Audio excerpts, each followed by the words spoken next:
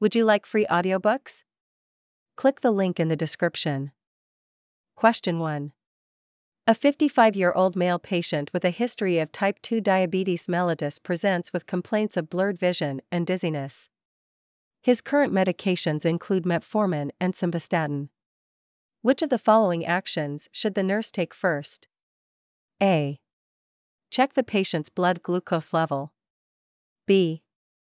Administer a dose of simvastatin. C. Provide a carbohydrate snack. D. Assess the patient's blood pressure. Answer A. Check the patient's blood glucose level. Rationale In a diabetic patient presenting with symptoms of blurred vision and dizziness, the first priority is to assess for hypoglycemia or hyperglycemia by checking the blood glucose level. This immediate action can identify a potentially life threatening condition that requires urgent intervention. Question 2. A nurse is caring for a post-operative patient who has just returned from surgery with a prescription for morphine sulfate for pain management. The patient is currently asleep, and upon assessment, the nurse notes a respiratory rate of 8 breaths per minute. What is the nurse's best course of action? A. Wake the patient and administer the morphine. B. Administer naloxone. C. Reassess the patient's respiratory rate in 15 minutes. D. Hold the morphine and notify the physician.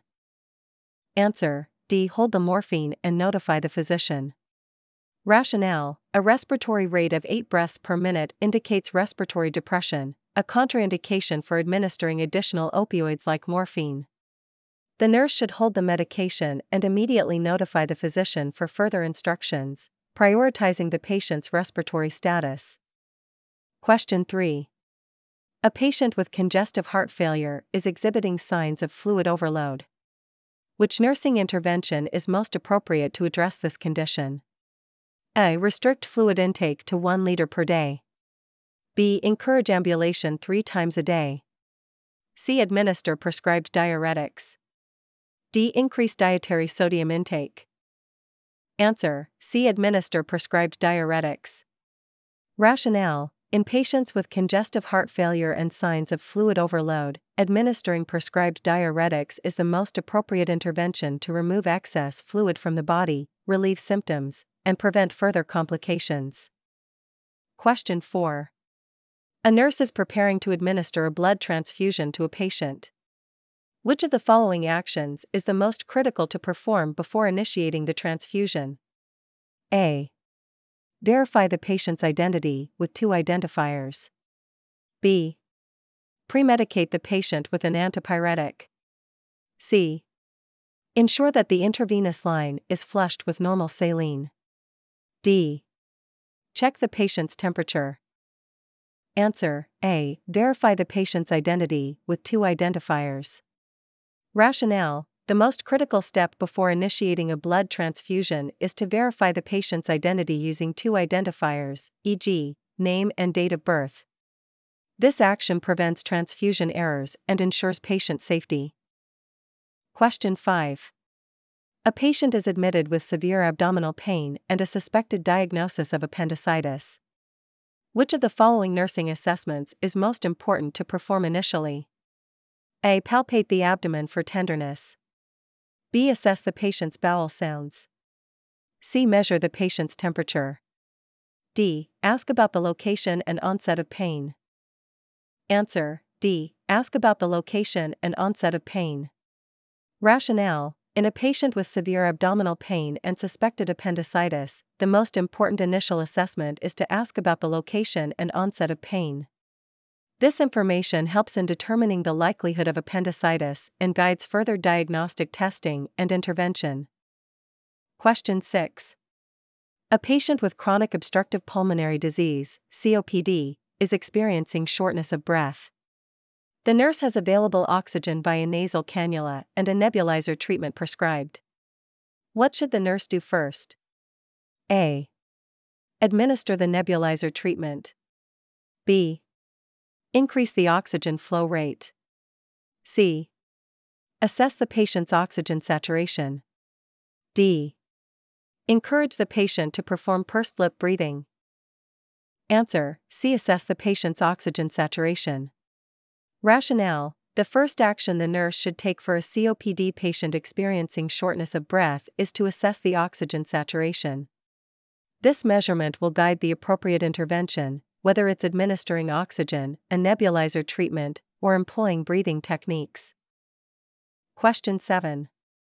A nurse is providing education to a patient with hypertension. Which statement by the patient indicates a need for further teaching? A. I should monitor my blood pressure at home regularly. B. I can add salt to my meals as long as I drink enough water. C. I will need to take my medication even if I'm feeling well. D. I should incorporate exercise into my daily routine. Answer B. I can add salt to my meals as long as I drink enough water. Rationale This statement indicates a misunderstanding about hypertension management. Patients with hypertension should be advised to limit sodium intake, as excessive salt can contribute to increased blood pressure levels. This indicates a need for further education on dietary restrictions. Question 8. A nurse is caring for a patient who suddenly becomes agitated and confused. The patient's heart rate is elevated, and they are sweating profusely. What is the nurse's priority action? A. Administer an antipsychotic medication. B. Perform a thorough physical assessment. C. Restrain the patient for their safety. D. Attempt to calm the patient by speaking in a soothing voice. Answer B. Perform a thorough physical assessment. Rationale The nurse's priority is to perform a thorough physical assessment to identify the underlying cause of the patient's sudden change in mental status and physiological signs. This could indicate a range of issues, from infection to adverse medication effects, and guides appropriate intervention. Question 9. A pediatric patient with a severe peanut allergy accidentally ingests a product containing peanuts and starts exhibiting signs of anaphylaxis. The nurse immediately administers epinephrine as prescribed. What is the next best step? A. Reassure the child and wait for the epinephrine to take effect. B. Prepare to administer a second dose of epinephrine if needed. C. Give the child an antihistamine to reduce symptoms. D. Monitor the child's vital signs and oxygen saturation continuously. Answer D. Monitor the child's vital signs and oxygen saturation continuously. Rationale After administering epinephrine for anaphylaxis, the next best step is to continuously monitor the child's vital signs and oxygen saturation. This monitoring is crucial to assess the child's response to the treatment and to identify any need for further intervention. Question 10. A patient with a history of atrial fibrillation is on warfarin therapy. The nurse notes the patient's INR is significantly higher than the therapeutic range. What is the most appropriate nursing action? A. Administer the next dose of warfarin as scheduled. B. Prepare to administer vitamin K. C. Increase the patient's intake of green leafy vegetables. D. Obtain a repeat INR to confirm the initial results. Answer B. Prepare to administer vitamin K. Rationale An INR significantly higher than the therapeutic range indicates a risk of bleeding due to overanticoagulation. The most appropriate action is to prepare to administer vitamin K, which can help reverse the effects of warfarin and reduce the risk of bleeding. Question 11. A nurse is caring for a patient who reports nausea after undergoing chemotherapy. Which of the following interventions should the nurse prioritize? A. Offer the patient a glass of water. B. Administer prescribed antiemetic medication. C. Encourage the patient to rest in a supine position. D. Provide the patient with a high fiber meal. Answer B. Administer prescribed antiemetic medication. Rationale Nausea is a common side effect of chemotherapy. The priority nursing intervention for a patient reporting nausea post chemotherapy is to administer prescribed antiemetic medication to alleviate the symptom and prevent vomiting, which can lead to further complications. Question 12. A patient is admitted with acute exacerbation of asthma. The nurse notes wheezing and difficulty breathing. Which action should the nurse take first? A. Administer a short acting beta agonist by a nebulizer. B. Perform chest physiotherapy. C. Start oxygen therapy at 2 liters per minute. D. Encourage the patient to use pursed lip breathing. Answer A. Administer a short acting beta agonist via nebulizer. Rationale In an acute exacerbation of asthma, the first priority is to relieve airway constriction and improve breathing. Administering a short acting beta agonist via nebulizer is the most effective immediate intervention to achieve this. Question 13. A nurse is assessing a patient with suspected deep vein thrombosis, DVT, in the lower leg. Which of the following findings would be most indicative of DVT? A. Warmth and redness over the affected area. B. Decreased calf circumference compared to the other leg. C. Absence of pedal pulses. D. Coldness and pallor of the affected leg. Answer A. Warmth and redness over the affected area.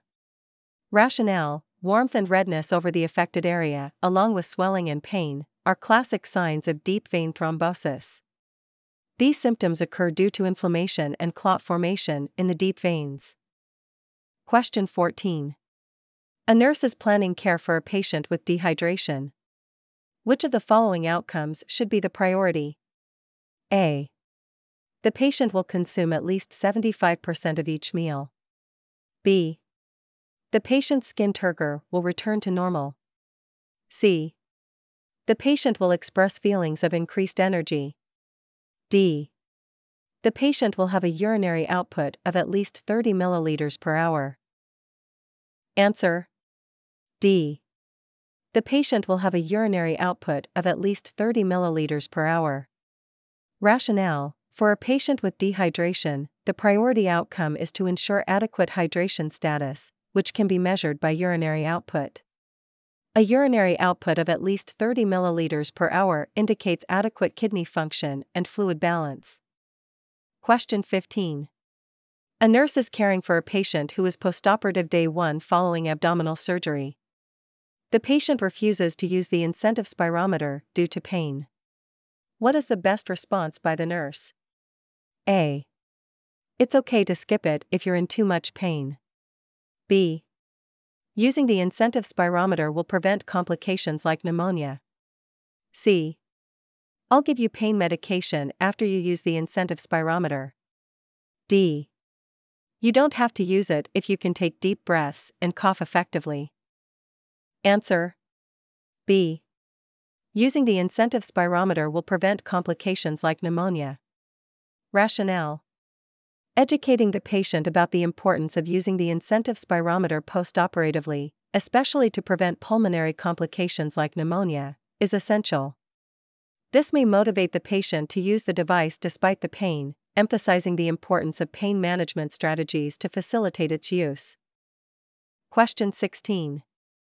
A nurse is preparing to teach a patient with newly diagnosed diabetes mellitus about managing their condition. Which teaching method is most effective? A.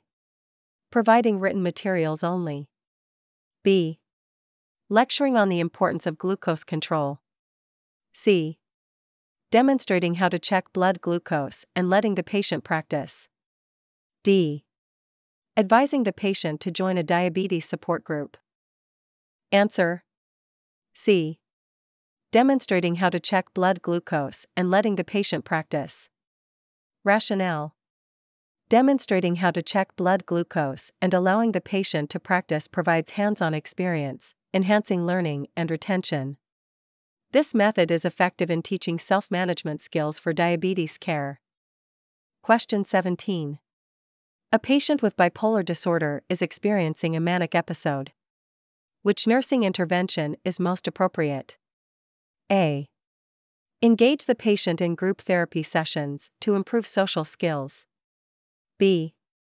Provide a quiet environment and limit stimulation. C. Encourage the patient to take on leadership roles in communal activities. D. Increase the frequency of family visits to enhance support. Answer B. Provide a quiet environment and limit stimulation. Rationale During a manic episode, a patient with bipolar disorder may be easily overwhelmed by external stimuli. Providing a quiet and minimally stimulating environment can help reduce agitation and prevent escalation of symptoms. Question 18. A nurse is assessing a patient who reports feeling anxious. Which of the following findings should the nurse recognize as a physiological manifestation of anxiety? A. Bradycardia. B. Hypotension. C. Diaphoresis. D. Decreased respiratory rate. Answer C. Diaphoresis. Rationale Diaphoresis, excessive sweating, is a common physiological response to anxiety, as the sympathetic nervous system is activated. Other manifestations might include tachycardia, hypertension, and increased respiratory rate, rather than the decreases mentioned in the other options. Question 19. A nurse is caring for a patient receiving intravenous antibiotics. The patient complains of pain at the intravenous site, which appears red and swollen. What is the first action the nurse should take? A. Apply a warm compress to the site. B. Discontinue the intravenous infusion immediately. C. Administer a prescribed analgesic. D. Slow the rate of the infusion. Answer B. Discontinue the intravenous infusion immediately. Rationale pain, redness, and swelling at an intravenous site may indicate phlebitis or infiltration. The first action should be to discontinue the intravenous infusion to prevent further tissue damage. Then, assess the site further and possibly start a new intravenous line at a different site. Question 20.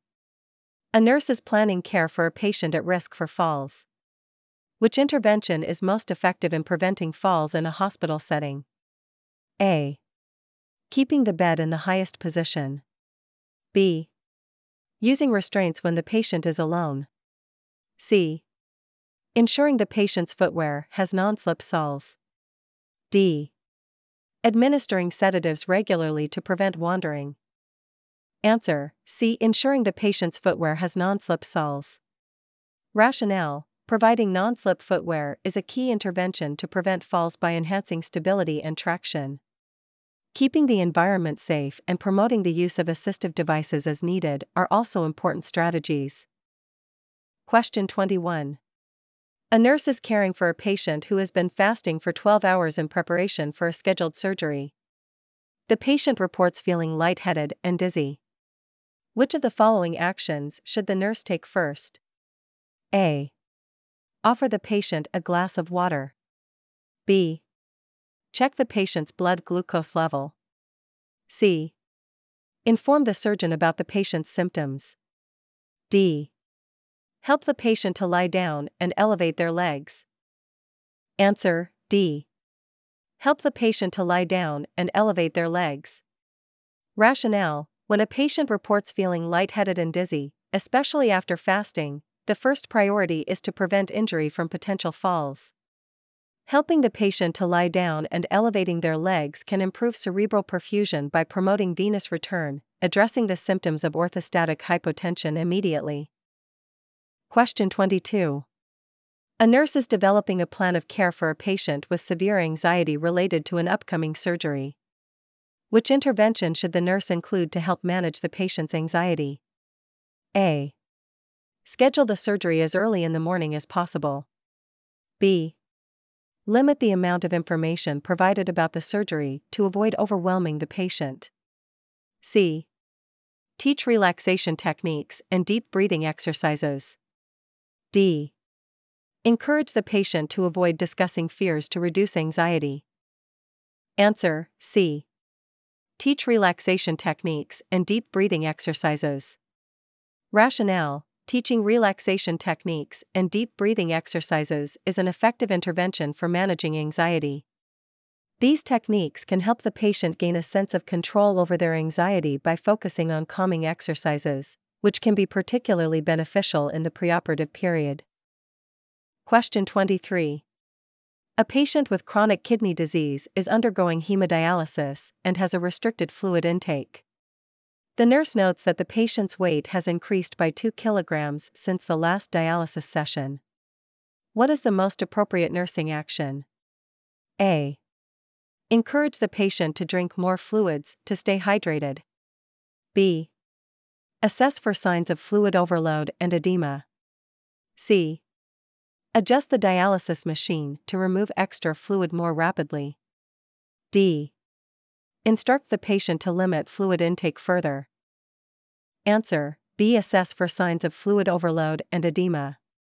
Rationale In a patient undergoing hemodialysis with a restricted fluid intake, a weight gain of 2 kg likely indicates fluid retention. The nurse should first assess for signs of fluid overload and edema to confirm fluid accumulation and then communicate these findings to the healthcare team for potential adjustments in dialysis settings. Question 24. A nurse is providing discharge instructions to a patient who has been prescribed warfarin. Which dietary advice is most important for the nurse to emphasize? A. Increase intake of vitamin K rich foods like green leafy vegetables. B. Avoid grapefruit and grapefruit juice while taking warfarin.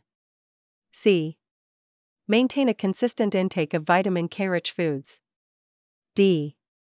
Eliminate all vitamin K from the diet to prevent blood clots. Answer C. Maintain a consistent intake of vitamin K rich foods. Rationale For patients taking warfarin, it is crucial to maintain a consistent intake of vitamin K rich foods, as vitamin K can affect the efficacy of the medication. Sudden changes in dietary vitamin K can lead to fluctuations in INR levels, potentially causing either an increased risk of bleeding or thrombosis. Education about consistent dietary habits helps manage the therapeutic effects of warfarin effectively. Question 25. A nurse is preparing to administer a subcutaneous injection to a thin, elderly patient. Which site and technique should the nurse select to minimize the risk of injury? A. The dorsogluteal site, using a 90 degree angle. B. The ventrogluteal site, using a 45 degree angle. C. The abdominal site, using a 45 degree angle. D. The deltoid site, using a 90 degree angle. Answer C. The abdominal site, using a 45 degree angle. Rationale For thin, elderly patients, the abdominal site is preferred for subcutaneous injections due to the presence of adequate subcutaneous fat, which can absorb the medication effectively. Using a 45 degree angle helps ensure the medication is delivered to the subcutaneous tissue, minimizing the risk of muscle or nerve damage, especially important in patients with decreased muscle mass. Visit nursestudy.net for more nursing practice exams, care plans, and study guides.